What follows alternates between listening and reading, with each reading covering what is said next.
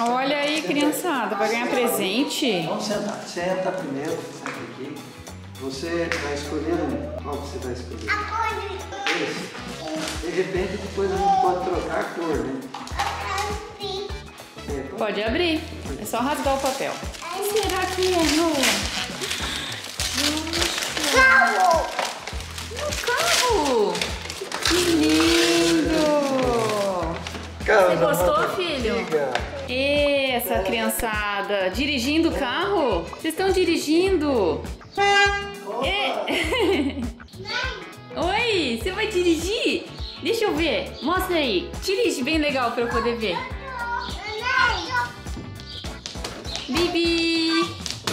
Agora oficialmente bom dia! Nós estamos nos preparando para sair. Hoje a gente vai fazer várias coisas. Eu preciso ir lá na prefeitura resolver um negócio da minha empresa. A gente vai no shopping, o Joshua vai cortar o cabelo. A gente vai resolver um monte de coisa. Então vamos sair. Estamos aqui nos preparando. Você vai dirigir? Sim. Com o vovô? Então dirige um pouquinho pra eu ver. Bibi! Que lindo! Fala bom dia, pessoal! Opa! Seu safado. O que, que o vovô vai te ensinar, hein? O que, que o vovô vai ensinar pra você? Nono, Nono, você tá papando?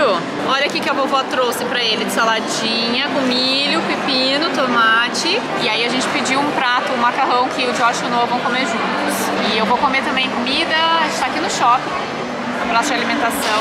Vou comer arroz, feijão, sei lá, não sei o que, eu vou comer lá. Tamo aí, o Joshua foi no banheiro com a vovó, o vovô tá lá fazendo os pedidos e a mamãe tá com o Nono aqui comendo. Ai, que lindo! Ai, que lindo! Tá gostoso, Nono? Que delícia!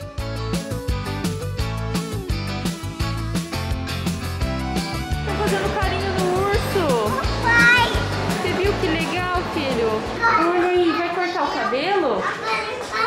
No carrinho? Que carrinho legal! E o que, que você vai assistir? Patrulha canina? Que legal, o Josh vai cortar o cabelo agora. Então, Ó, é a capa pra poder, pra poder assistir. Pra ficar bonitão. Começou o desafio já, já não tá querendo pôr a Só capa. um pouquinho. Vamos um pôr sim, senhor. Vamos pôr a do, do Batman, então? Você quer azul ou a preta? Olha a do Batman. Você quer cortar sem capa? Mentira, meu cabelo. Aê, nossa, tá ficando muito bom. Agora é o seu. Por isso o Noah senta aqui também. Esse carrinho é bacana? que legal. Agora a gente vai passar no cabelinho, olha lá. Ó. Dá uma patrulha Dorme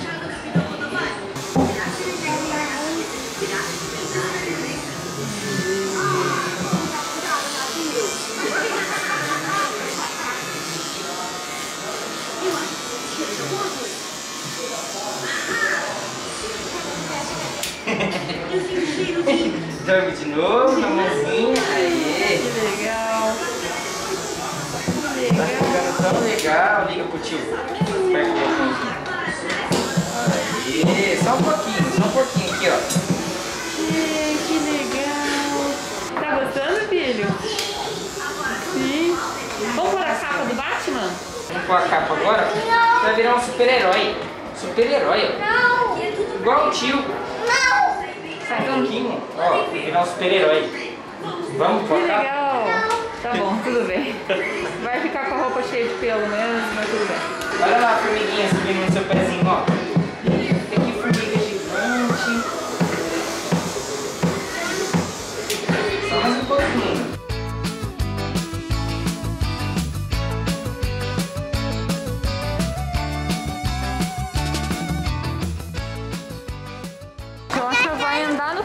Vovô e a vovó resolveram mimar ele, ó. Vai andar, ó, tá andando. Ó. Olha que legal. Ajuda com o quê? É só andar, filho. Ele tá com medo.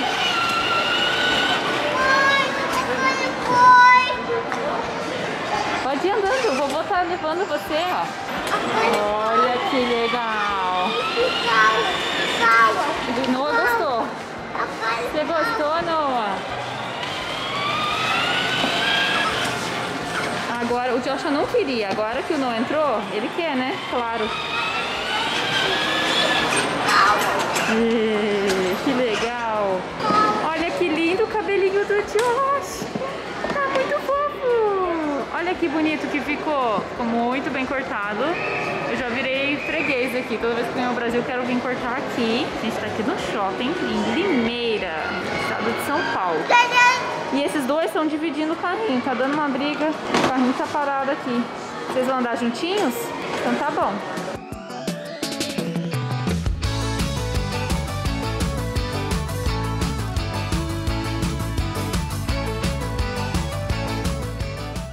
Olha a criançada aí brincando na frente da casa dos meus sogros. Chegamos em casa, né? Aqui na caminhão, você tá dando banho no caminhão?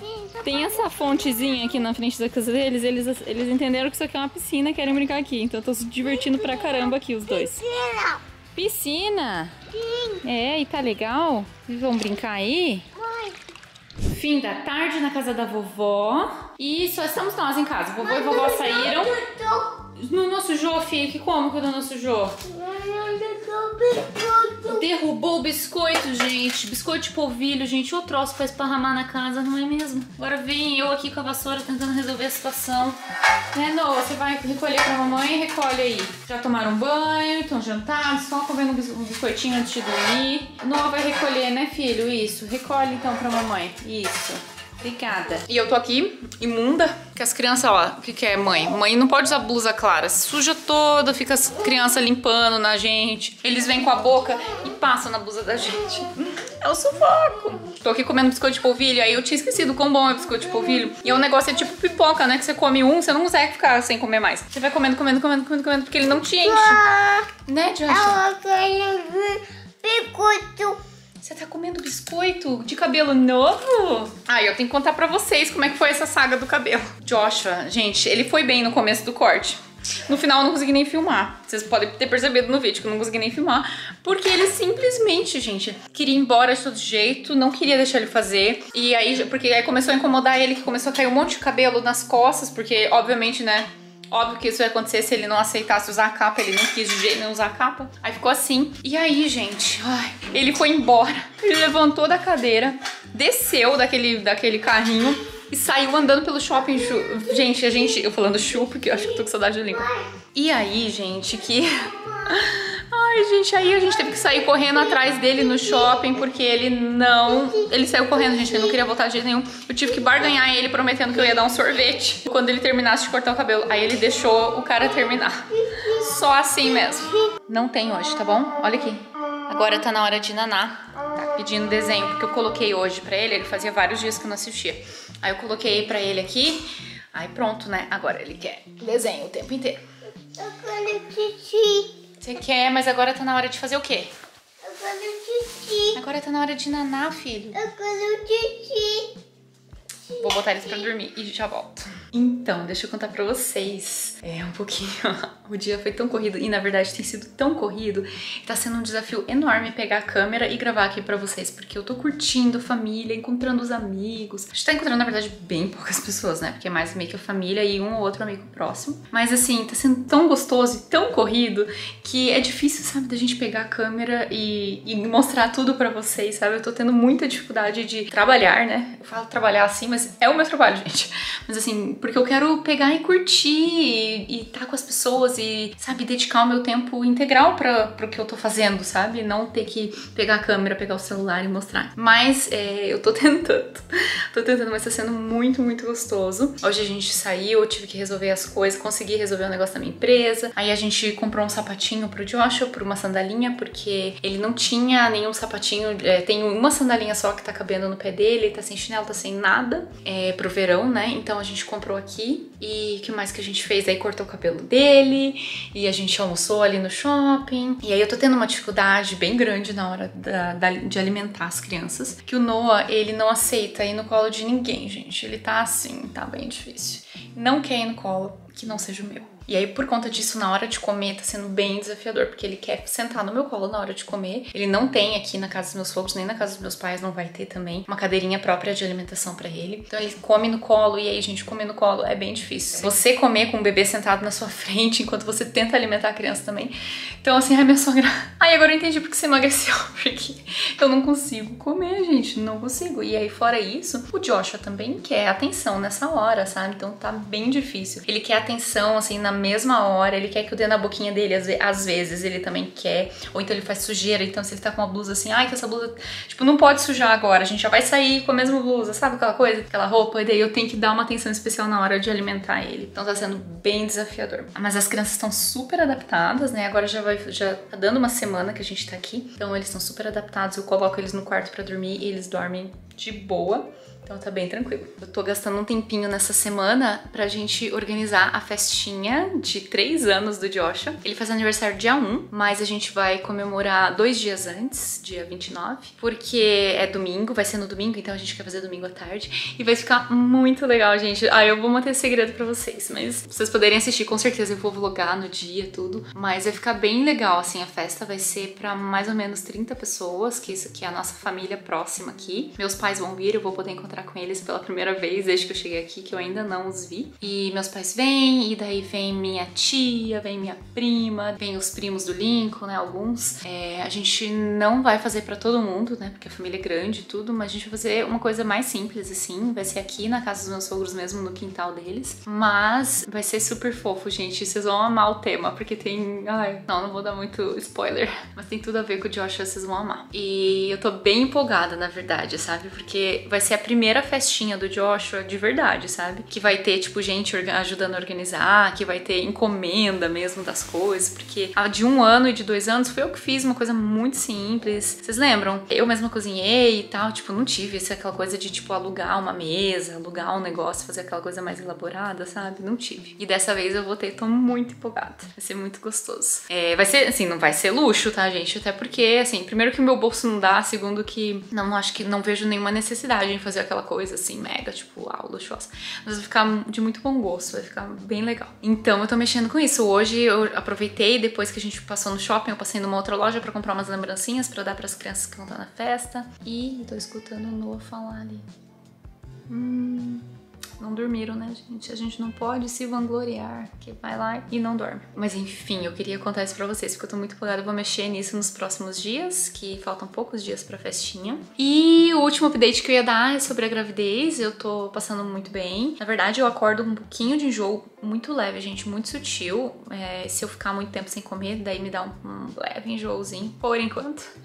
Ai, gente, eu tô falando por enquanto, porque assim, ainda pode piorar. Eu dou acho que mais uma semana e meia, assim, uma semana e meia o o, enjoo não vingar, é porque eu acho que realmente eu vou ser privilegiada dessa vez. Que na gravidez do Noah eu também, também foi desse jeito, assim. Eu tive muito pouquinho, do jeito que eu tô tendo agora, bem pouquinho. Mas na do Josh eu tive muito enjoo, então tudo pode acontecer, não sabemos. Mas por enquanto eu tô super bem, tô passando bem, tô só assim, cansada. É, eu fico bem cansada, assim, mas nada que seja, tipo, não tô assim, vegetando, sabe? Na gravidez do Noah, eu, os primeiros meses, nossa, eu, eu vegetei. Não tinha ânimo para nada, tipo, e o Josh Joshua era bebê ainda, né? Ele, tá, ele engatinhava, começou a andar nessa época. E ele queria ficar pra lá e pra cá fazendo atividade. Eu deitava no sofá e eu ficava vendo ele brincar. E eu, ficava um vegetal no sofá, sabe? Não tinha ânimo pra nada. Eu tô torcendo pra que não seja assim dessa vez. Eu espero que eu continue tendo ânimo, porque Jesus tem que me abençoar, porque eu não tenho, assim, ó, não tenho essa possibilidade, entendeu? Eu tenho que estar tá né, gente? Com duas crianças, uma de três, outra de um e meio né? Mas graças a Deus tá indo tudo bem. Eu fui no médico e fiz uma consulta e ele pediu ultrassom, então eu vou fazer. Eu achei que eu ia conseguir fazer ontem o ultrassom, mas vou conseguir fazer só na semana que vem. Então vou ter que esperar um pouquinho mais pro ultrassom, mas tudo bem, tá tudo certo, tá indo tudo bem, graças a Deus. Então continuo otimista aí com a gravidez e agora começando a fazer planos. Estamos pensando nos nomes, estamos pensando e tem outras coisas que eu gostaria de falar para vocês. Eu queria queria muito ter- bater um papo, acho que vou fazer um vídeo separado. Quero bater um papo com vocês sobre a questão do sexo do bebê para essa terceira gravidez, contar um pouco como eu tô me sentindo em relação a ter mais um menino ou então ter a menina. Eu quero muito conversar sobre isso com vocês. Eu sei que vocês têm dúvidas sobre esse assunto. Então, o que vocês quiserem saber relacionados a esse tema, deixa aqui nos comentários que eu vou ler, eu vou selecionar essas perguntas e eu vou gravar um vídeo específico pro canal é, falando sobre isso. Eu já tenho um vídeo aqui onde eu conto, se você é novo por aqui e não me acompanhava nessa época, eu passei por uma frustração muito grande quando eu engravidei do Noah, quando eu descobri que ele era menino. Pra mim, assim, eu sonhava muito com uma menina, foi bem difícil. Eu tenho um vídeo aqui no canal, posso deixar o cardzinho aqui pra vocês. Tem um vídeo contando um pouco sobre isso, sobre os meus sentimentos em relação a isso e o que, que eu penso sobre esse assunto. E é até legal que eu acho que eu vou até reassistir esse vídeo e ver se o- a forma como eu pensava naquela época continua sendo essa forma, sabe? Eu acho que eu tenho que fazer esse exercício e ver o que, que mudou de lá pra cá, sabe? Mas eu quero conversar muito sobre, sobre isso com vocês. Bom dia! Estamos no quintal do vovô e da vovó e olha o que, que as crianças vão tomar, vocês vão ver. O que, que vocês estão tomando? Caldo de cana! Que delícia! Espremidinho na hora. Olha aqui a cana, aqui ó. Tudo do quintal aqui, ó. Tudo do quintal. Caldinho de cana espremido na hora. Maravilhoso. Que delícia! Tá gostoso? Zero. Gelo. Põe esse aqui, que esse aí Tá pra gostoso, você, Noah? Tá bom esse suquinho? E caldo de cana? Sabor de Brasil? Ah, pra mim vem com limão, ó. Especial da casa. Ah, que delícia. Aí, saúde. Quem que gosta de um, de um caldinho de cana, aceitam? Irmão. Hum, Irmão. tá gostoso, filho? Irmão. O vovô colocou limão pra você também? Sim. Que delícia. Olha aí, plantação. O que que a gente vai plantar então, sogro? Um milho, milho. Opa! Quem que vai plantar junto? Eu quero. Os netinhos tudo aqui. Ai,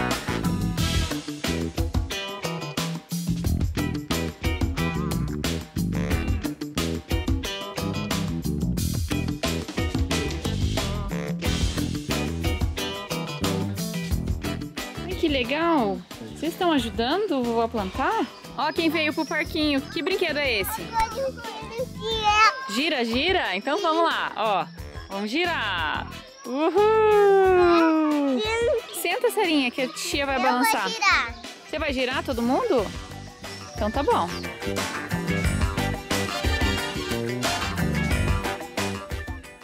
Chegou a hora do almoço e vocês não estão entendendo o cheiro que tá nessa comida. Olha que feijão lindo, novinho, arrozinho, saladinha, um escondidinho. E minha sogra ainda tá fazendo mandioca frita. Olha que delícia, gente. frita. Que delícia. Tudo mandioca colhida aqui, gente, no quintal deles. Olha que maravilha, foi colhido hoje. Que delícia. Tô aqui na casa da minha prima. Minha prima, né? Porque prima do meu marido é minha prima, né, gente? Eu chamo de prima. E olha só, gente, o que, que tem aqui? Pamonha. Por que a gente não faz pra prima? Não é? Quando a gente se encontrou, ela falou: Eu vou fazer pamonha pra você. Porque ela sabe que eu gosto. E tá aí, a tia veio e fez. Olha que delícia. Ai, gente como eu um amo pamonha. pretexto pra fazer a pamonha. Não por isso então, ó, mas aí o que acontece? A gente quer curtir a pamonha, mas tem, tem, um, tem um aqui e o outro pedindo aqui, né? Vou conseguir comer a pamonha? O que, que vocês acham? Não ou com certeza não? Gente, eu saí de casa, coloquei as crianças pra dormir e vim ter uma noite das mulheres com a minha cunhada e com a minha amiga. E a gente tá aqui no restaurante mexicano. Ó, vamos ganhar chapéu mexicano e tudo mais. Eu fico com esse que combina com a minha roupa. Aê! Ó, Olha, chegaram as comidas, pessoal animada aí. Dela, o meu é Taco. Burrito de limão, Ai, é taco crocante, eu não sabia. taco de salmão. Olha, vai ficar agora bem mexicano mesmo. Mexicano, que se falando italiano. Agradecida, ó. O meu é um taco de salmão.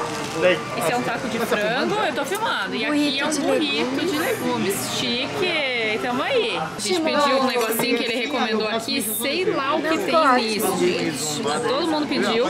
E ela pediu uma pina colada. Essa é minha amiga Liz. A Liz é minha amiga da faculdade. A gente se formou juntas na faculdade, né, Liz? Olá! E ela também tem dois filhos. Ela é, ah, falou é, olá, porque dá pra falar em espanhol mesmo, porque ela é equatoriana. E essa é a Ellen, minha cunhada, Tá bom aí, Ellen? Uma delícia, ó. Pedacinho bom. do céu. Ô, pedacinho do céu. Vendeu, hein? Vendeu o restaurante. Gostei mesmo, tá com fome. Olha aqui que legal. Olha só, gente. Esse aqui, ó. Como é que você chama? Marcos. O Marcos atendeu a gente aqui muito bem. Estamos aqui, como é que chama? Tequilaria São Paulo Grill, aqui em Mogi Mirim. 22 de outubro. E olha só, a gente tá celebrando, olha aqui, ó, ganhamos um sorvete, não é mesmo? Olha que bacana, o pessoal tava ouvindo a história da família dele inteira, contando do, do irmão, que tem muitos filhos, e Nove contando... filhos. Nove filhos, gente, animado o irmão dele, hein? ouvindo todas as histórias aqui, muito, muito parabéns. Obrigada, viu? Obrigada. Ó, vamos comer.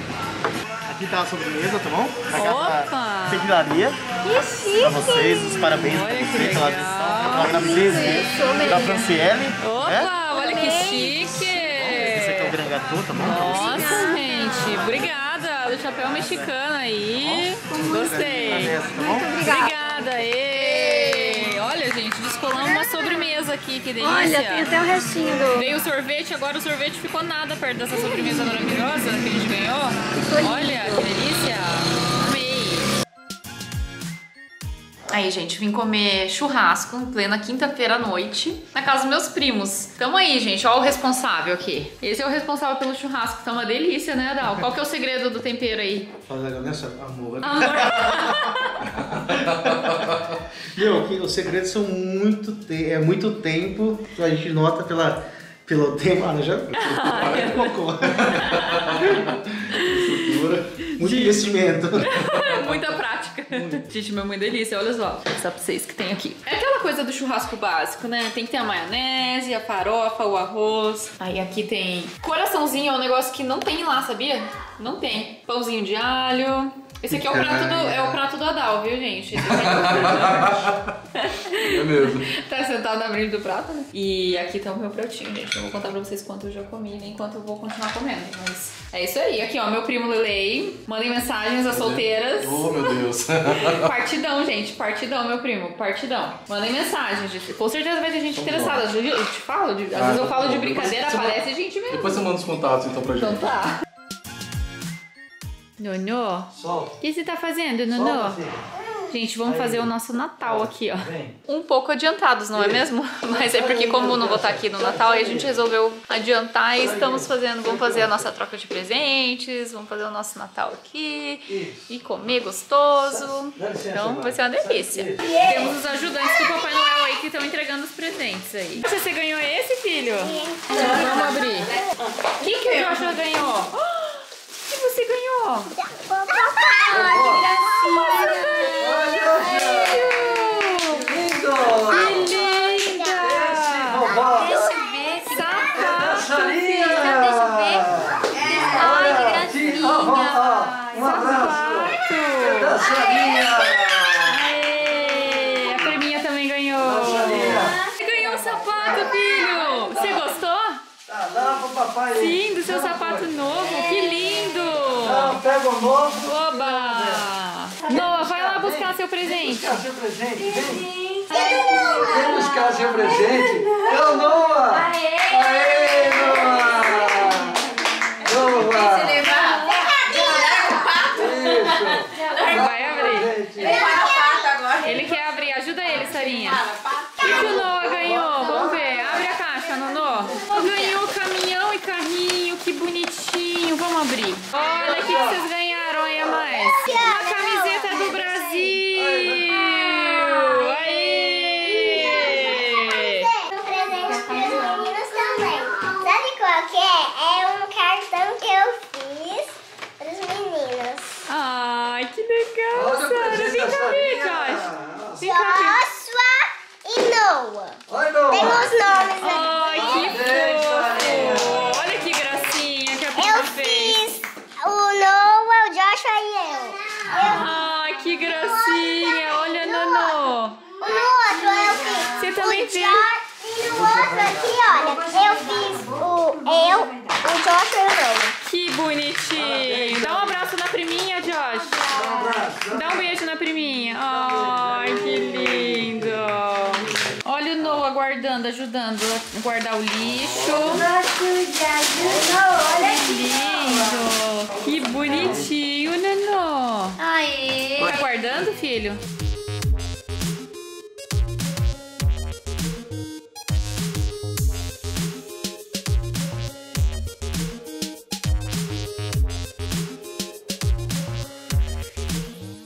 Dia. O que, que meus príncipes estão comendo? Morango, manga, uva também. Meu café da manhã vai ser um pedaço da pizza de ontem. Isso aqui é de palmito que minha sogra fez. Que delícia poder comer pizza no café da manhã, Eu né? também vou comer pizza. Você vai? Você gosta de comer pizza no café da manhã? Eu comer pizza. Pizza também vai? Sim. Ai, que delícia! O que vocês estão fazendo aí? Fazendo bolha? E o Noah enfiou numa colher do iogurte. Alguns momentos depois. Tô aqui com esse moço aqui. Vocês não estão entendendo o perrengue que a gente passou hoje. Ai, gente, foi um sufoco. O Noah, olha aqui, olha pra ele, que ele tá com escova de dente, mas tá vendo que a boca dele tá muito inchadinha, vermelha. E embaixo do lábio dele, que não tá dando pra ver, ele não vai deixar eu mostrar pra vocês. Não, caiu. No Noah caiu? O que que aconteceu? Gente, o Noah caiu hoje. Foi feio. Foi bem feio. Só queria mostrar pra vocês, mas não tá dando pra ver. Vou botar essas crianças pra dormir e eu já volto pra contar a história. Oi. Eu tô notícia da mamãe. Você tá escovando o dente com a escova da mamãe? Sim. Mostra aqui a sua boquinha, como tá doisinha. Em cima e embaixo. Embaixo foi o pior, que não tá dando pra ver. Gente do céu. Vamos fazer oração. Deita na sua cama, filho. Vamos falar. Querido Deus, obrigado pelo dia. Deu Josh e o Noah uma boa noite de sono. Em nome de Jesus. Amém. Amém. Boa noite. Então, vocês não estão entendendo o perrengue que a gente passou hoje. O Noah tava balançando na rede com os dois priminhos, os dois priminhos, a prima, né, e o Joshua. E o meu sogro tava balançando eles. Um segundo, gente, é um segundo, mas com criança é assim, né? É um segundo. O Noah simplesmente se jogou. E caiu, assim, caiu na grama. Não tinha concreto, não tinha nada, caiu na grama. Mas é, ele chorou e começou a sangrar. E aqui, ó, bem aqui embaixo, que não dá pra ver porque tá muito inchada a boca dele. Isso foi bem aqui embaixo. Fez um corte, assim, daqui até aqui, tipo, enorme. E a boca ficou mega inchada, tipo, bem machucado por dentro, assim, na boca. E na gengiva aqui no dente, assim, também. Daí a gente quando eu vi, né, que tinha acontecido, ele já não tava mais chorando, ele não, nem chorou muito, assim, eu achei que, assim, ah, na hora eu falei assim, ah, acho que não vai ser nada, né, não sei. Mas aí passou um tempinho e eu fiquei meio preocupada, eu falei assim, não sei, entendeu, tipo, o que que é, o que que não é, e se cortou, e se precisa dar ponto, e ele parecia que tava bem, mas tava bem inchado, eu fiquei meio preocupada. Daí tem uma pediatra que mora aqui na rua dos meus sogros, a gente foi lá, encheu o saco, né? E ela deu uma olhada e daí ela sugeriu que a gente fosse a Campinas, que fica a 40 minutos daqui. O que ela falou foi assim: se ele levar ponto normal, vai ficar cicatriz igual se ele não levar. Então, porque não foi superficial o corte. Então, assim: o que seria ideal ele, ele levar ponto com cirurgião plástico, porque daí ele faz de um outro jeito, que daí não fica, não dá problema e tal. Foi o que, foi o que ela sugeriu. Daí ela, daí ela sugeriu ir até a Campinas, porque lá tem um cirurgião plástico de plantão no hospital lá que ela recomendou. Aí a gente foi, né, gente? 40 minutos. Aquele desespero, assim, pegamos coisas, crianças. A gente era bem na hora do almoço. A gente foi tudo sem almoçar. E o desespero, né? Mandei uma mensagem pro Lincoln avisando o que tá acontecendo. E fomos. Aí chegamos lá no hospital. Ah, tem que esperar, né, gente? Eu fiquei assim, meu Deus, se fosse morrer, eu já tava morrendo, né? Porque Aí teve que esperar, pegar, fi, pegar número pra ser atendido, aquela coisa, até ser atendido, daí passou por um médico, aí passou pelo outro. Ah, no final, o médico falou que não precisava dar ponto, então ele falou assim: não, acho que não realmente não precisa dar ponto, porque cortou duas camadas da pele, tá? Ele até explicou como é que funciona e tal, mas só cortou duas camadas da pele, então não foi, não foi profundo. Então ele acha que se desse ponto ia ser pior do que não dar ponto. Então ele só falou que assim, não pode pegar sol de jeito nenhum para poder cicatrizar bem, né? E não ficar tão marcada cicatriz. Então é seis meses sem pegar sol, compro muito protetor solar e daí deu uma pomadinha que eu tenho que começar a passar daqui a duas, duas semanas nele. E ficou, mandou a gente ir lavando o machucado, né? Pra não deixar entrar sujeira nem nada, não infeccionar, né? E mandou a gente pra casa. Mas assim, nessa brincadeira, né? Tipo, a gente já. Ele não tem plano de saúde aqui, né? Então a gente levou no hospital, a gente não levou no postinho. Então gastamos uma nota aí, né? Até fazer isso aí. Mas graças a Deus não precisou dar ponto. Gente, se fizesse dar ponto, meu Deus, essa conta ia até as alturas. E, mas não por isso, né? Porque eu falei, gente, eu tenho que fazer o melhor pelo meu filho, independente. Depois eu me viro pra ver como vai fazer, né? O quanto que for. O importante é estar tudo bem com ele. O importante é. Porque eu fiquei preocupada assim, ah, se eu não der ponto, porque a pediatra falou assim: pode não dar ponto. Foi superficial. Não, teoricamente, talvez não teria necessidade de dar ponto. Ela só tava meio preocupada como que ia cicatrizar. Ela falou assim: ah, provavelmente se não, não dá ponto, talvez fique uma cicatriz grande e tal. E eu fiquei, ah, gente, eu não quero ser responsável pelo meu filho na fase adulta, tipo, ter uma cicatriz no rosto que incomode ele, que atrapalhe ele na autoestima dele e tudo mais, porque eu tomei uma decisão lá atrás e que eu não quis gastar, sabe, de levar pro hospital. Então foi a minha lógica, eu falei, não, eu vou fazer o que eu tenho, que eu tenho que fazer, né, o responsável, eu sou responsável pela vida dele e eu vou fazer o melhor dentro das minhas condições. Então foi isso que a gente fez e ai, foi um sufoco, foi um sufoco, assim, eu fiquei bem nervosa, na verdade, que a gente não sabe o que esperar lá, né, mas graças a Deus deu tudo certo. Então ele tá aí, brincou hoje, comeu. Então aqui no dente não tem o que fazer, só minha amiga, minha, minha a prima do Lincoln, ela sugeriu da gente fazer um raio-x hoje, ela tava olhando. Falou assim, ai, ah, de repente seria bom fazer um raio-x nos dentes para ver se não tá nada mole e tal, porque eles não olharam muito por dentro, assim, no dente, nem nada. Então talvez eu leve ele é, segunda-feira, que eu, hoje é sábado à noite agora. É domingo, meio fechado as coisas, como não é tão urgente assim, acho que eu vou levar ele na segunda-feira pra tentar fazer esse raio-x. E foi isso, gente, foi um sufoco enorme. Eu, parece que quando a gente tá de viagem, toda vez que a gente vem pro Brasil, acontece alguma emergência, assim, de saúde, porque da outra vez foi o meu dedinho, não sei se vocês lembram, que eu bati meu dedinho, a mesa caiu em cima do meu dedinho, e daí fui, tive que parar no pronto-socorro também, e, gente, é um sufoco todo, toda vez é alguma coisa. Fico pensando o que, que será na próxima viagem. Mas enfim, deu tudo certo. E a gente teve um dia gostoso, fomos almoçar na tia do Lincoln, a gente passou a tarde lá, né? Depois que a gente voltou disso, aí a gente foi almoçar às três da tarde, porque coitada, ela tinha feito almoço, esperado a gente. Tudo. A gente só foi almoçar às três e pouca da tarde. Então, foi. Mas deu tudo certo, deu tudo certo. As crianças agora foram dormir. E espero que eles durmam, né, gente? Eles têm acordado 5 e 10 da manhã. Ou não, eles, o Jorge tá mexendo na janela, eu vou ter que ir lá. Pronto, resolvi. Mas eu ia contar pra vocês que o sono, né, do Josh e do Noah tá assim, tá me quebrando demais. Porque eles estão acordando 5 e 10 da manhã todos os dias. Ele não volta a dormir. E eu já tentei de tudo, gente. Eu deixei eles no quarto. Eu já tentei ir lá mandar dormir de novo. Já tentei deixar chorar. Já tentei, tipo, mil coisas, botar pra dormir mais tarde. Gente, nada funciona. Eles estão 5 e 10 porque o sol tá batendo. E a gente tem a, a persiana que fecha, mas ainda assim entra luz, sabe? Eu acho que é por isso, porque entra luz. E aí os passarinhos também aqui. Gente, os bichinhos são muito barulhentos, esses passarinhos.